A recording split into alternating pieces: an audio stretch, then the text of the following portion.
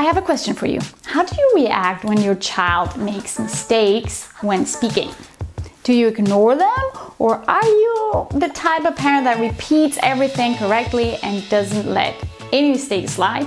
If your child is speaking unclearly, it's probably a good idea to pay a speech therapist a short visit. They will give you plenty of exercises that will definitely help. In this video, we'll be focusing on how to help children speak well, meaning correctly.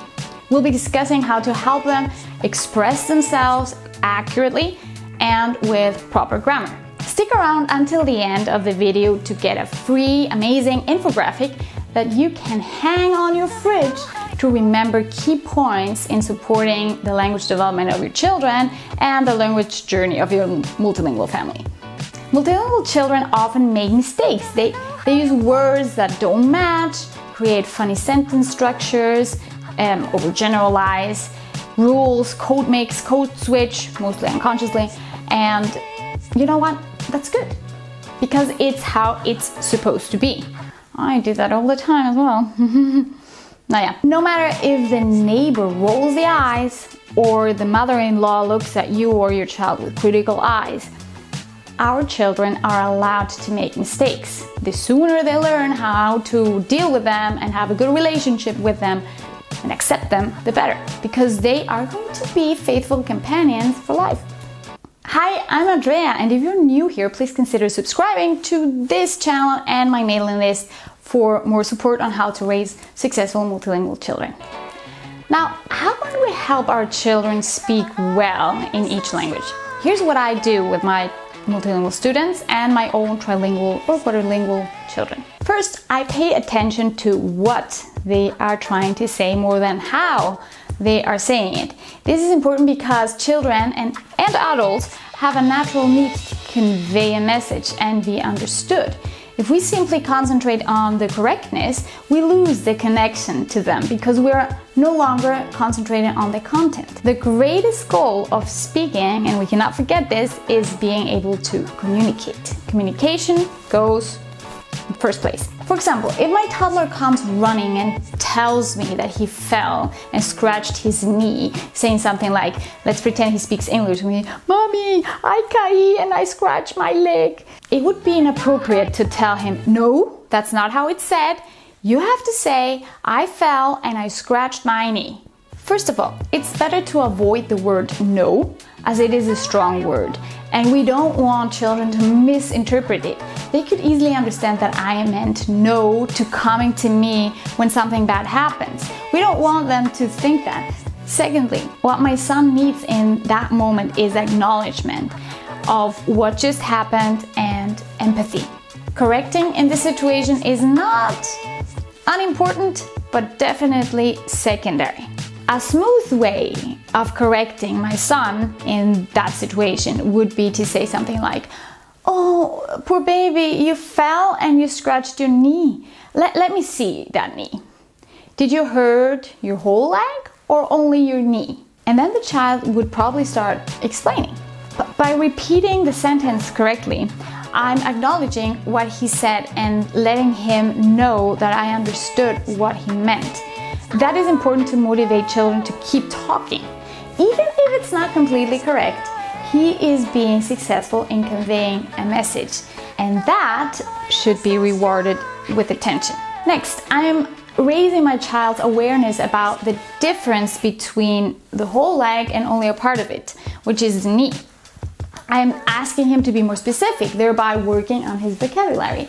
I do this in a very soft way without pausing the conversation, without ridiculing him for not saying it correctly, and without using the word no, nor accepting incorrect language use. Please feel free to rewind and watch the correcting part again if you need it, and let me know your thoughts in the comments.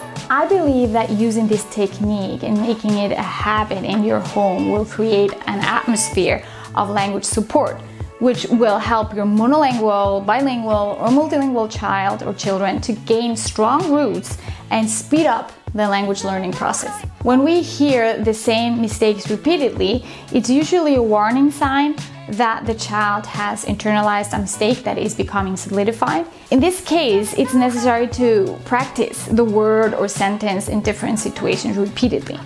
The child should also repeat the correct way of saying it in addition to hearing it until a new connection is created in, in the brain.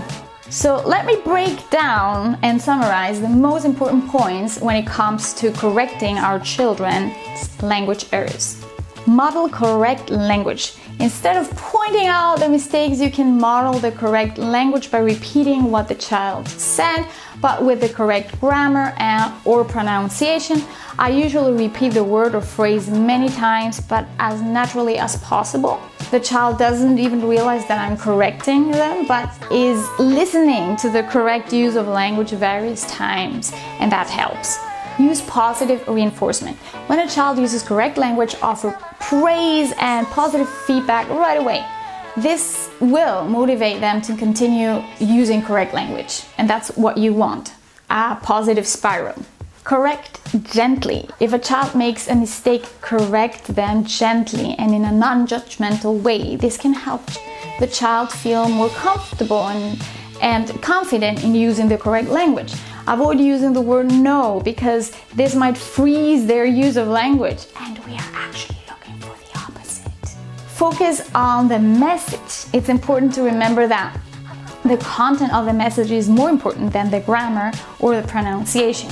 Encourage the child to express their ideas and their thoughts, even if they make mistakes. Try to see beyond the correctness of language.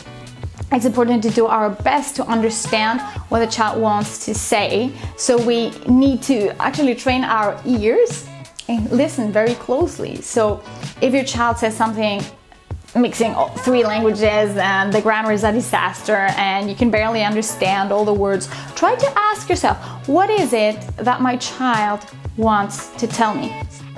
Then you can react by saying something like, Ah, I get it. You mean da da da da da da and then rephrase the content and repeat it correctly. You model the correct use of language, and your children learn. That means correcting language errors in children should be done in a supportive and positive manner to encourage their language development and help them communicate effectively. And before I forget, don't forget to subscribe to my mailing list. Everything is down below to get your free infographic with the key points on how to help your child speak well. If you're already subscribed, check out your inbox. I hope this was helpful. Please hit that like button and share this channel with your other multilingual friends. Also, if you haven't watched this video, I think uh, it could interest you. Keep on doing a fantastic job and I'll talk to you soon.